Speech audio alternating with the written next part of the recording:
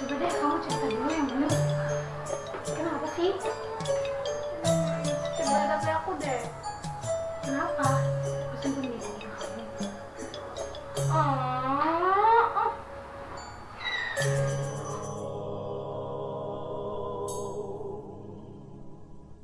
Hari ini tuh aku kayak biasa. Dia hubungin aku. Ya terus itu oke kan? Tiga jam sekali, itu ganggu Linda. Terus masalahnya di sini kamu keganggu sama Rio yang terus hubungin kamu gitu. Enggak sih. Sebenarnya aku senang. Tapi aku tuh marah.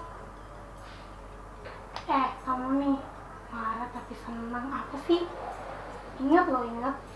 Hmm, kayaknya aku terpengaruh sama hal itu deh. Jadi dampaknya tuh ke mana-mana.